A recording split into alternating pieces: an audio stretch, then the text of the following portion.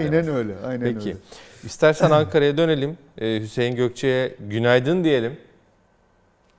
Günaydın, iyi yayınlar. Günaydın. Çok teşekkürler. Ankara'nın gündeminde, menüsünde neler var? Ee, şimdi memura zam, enflasyon farkı, e, böyle hep güzel haberler geliyor Ankara'dan. Hüseyin Gökçe. Aslında Türkiye'nin şimdi menüsü bardağın- oluyor bu. Evet, dinleyelim onu. Bardağın ne tarafından baktığınıza bağlı tabii ki. Şimdi e, bir memurlara maaş artışı yapılacak ama bundan e, her kesimin veya her memurun e, memnun olması gerekiyor. Her tarafın memnun olması gerekiyor. Bu koşullarda biraz zor görünüyor. Aslında şimdi enflasyon yaklaşık iki saat sonra belli olacak Haziran ayı enflasyon verisi ve e, 6 aylık Ocak-Haziran dönemi zamları da enflasyonu da zaten emeklerin maaşına doğrudan yansıyacak ve memur maaşlarında belirleyici bir kriter olacak artış oranlarıyla ilgili. Ama belki de hani benim kişisel görüşüm bu birçok kişinin de aynı şeyi düşündüğünü tahmin ediyorum en azından hazine ve maliye bürokratları. E, belki de bu anlamda parasal anlamda tarihin en zor sınavına giriyorlar.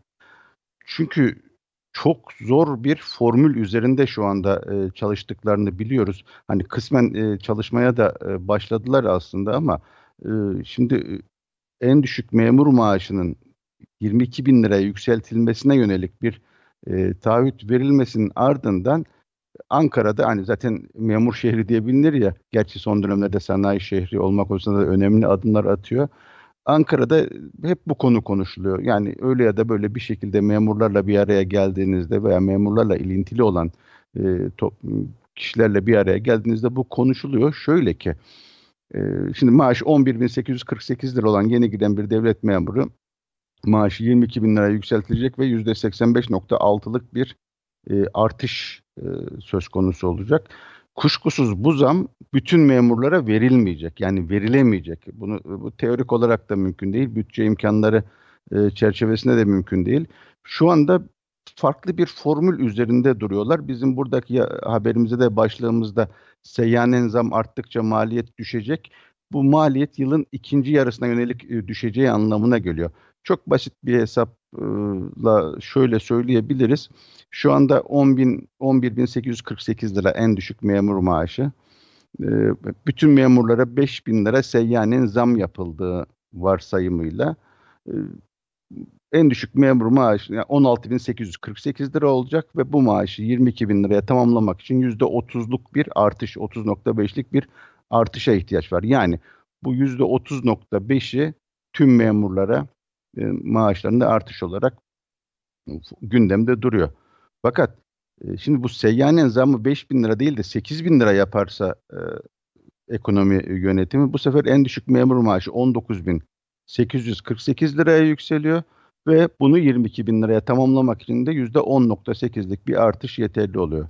Yani e, tüm memurlara 8 bin lira zam yapıldığında şu anda 22 bin liranın üzerinde alanlara da %10'luk bir zam yapıldığında e, bu işin içinden çıkılacakmış gibi duruluyor ama ben çok çıkılabileceğini de zannetmiyorum. Hani bu e, E, bir- en doğru formül bu olmakla birlikte.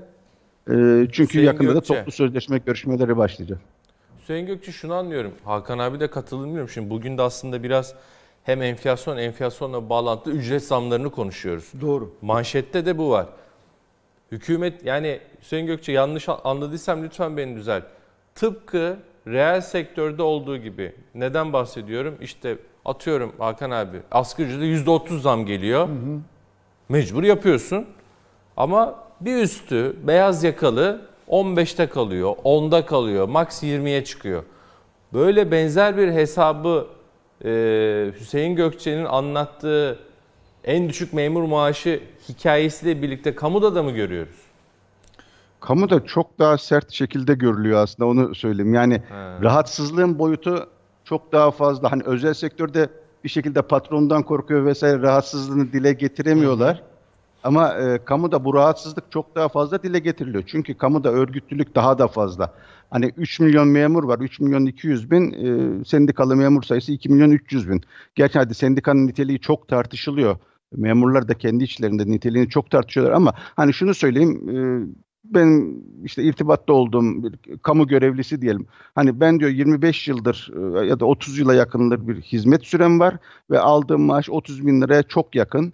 Ama şimdi dün giren birisi ya da yarın girecek olan bir kişi 22 bin lirayla başlarsa e, bu aynı iş yerinde üstelik be- e, iş barışında da ciddi anlamda kamuda işlerin ilerleyişinde de ciddi anlamda bir rahatsızlığa yol açacaktır ve bunu da zaten e, şimdiden onun huzursuzluğu başlamış durumda.